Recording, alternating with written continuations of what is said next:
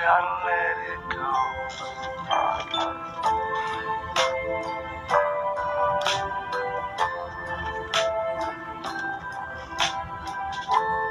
need some sleep, time to put the old horse down.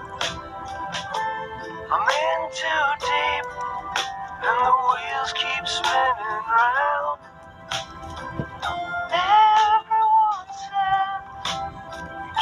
Go.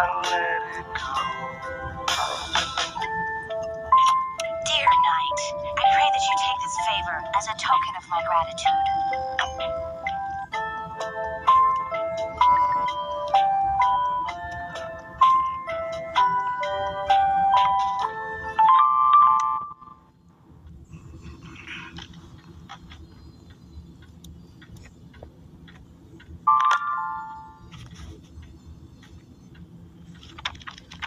Dear Diary, Sleeping Beauty is having a slumber party tomorrow, but Dad says I can't go. He never lets me out after sunset. Dad says I'm going away for a while. Must be like some finishing school or something. Mom says that when I'm old enough, my handsome Prince Charming will rescue me from my tower and bring me back to my family. And we'll all live happily ever after. Mrs. Fiona Charming. Mrs. Fiona Charming. Mrs. Fiona Charming. Mrs. Fiona Charming. Mrs. Fiona Charming. Mrs. Mrs. Fiona.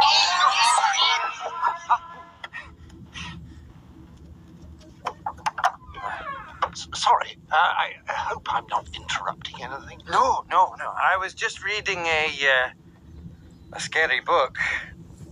I was hoping you'd let me apologize for my despicable behavior earlier. Okay. I don't know what came over me. Do you suppose we could just pretend it never happened and start over? Look, Your Majesty, I, I, Please call me Dad. Dad, we both acted like ogres. Maybe we just need some time to get to know each other. Excellent idea. I was actually hoping you might join me for a morning hunt, little father son time. I know it